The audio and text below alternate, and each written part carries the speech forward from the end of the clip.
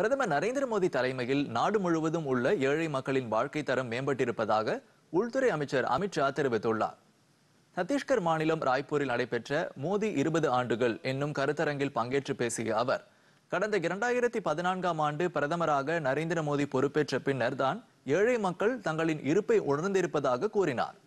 பல்வேறு தரப்பினர் தம்மிடம் கூறுகையில் அவர்களின் வாழ்க்கை தரம் மேம்பட்டிருப்பதாக தெரிவித்ததாகவும் அமித்ஷா குறிப்பிட்டார்.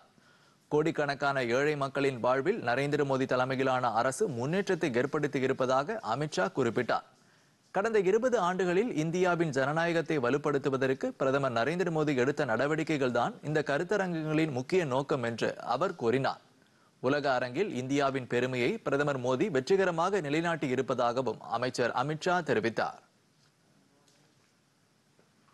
त्योहारों के साथ जोड़कर जनमानस का और जनता का व्यापक प्रशिक्षण करने की इसमें संदेश रखा है।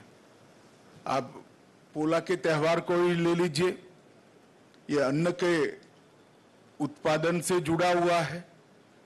अन्न माता जब गर्भ धारण करने की अनुकूल वातावरण होता है, तब ये मनाया जाता है।